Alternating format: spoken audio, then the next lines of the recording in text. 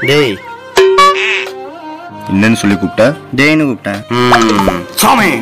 இன்னையில இருந்து வா சாமி. போ சாமி. புரிஞ்சுதா? புரிஞ்சுது சாமி.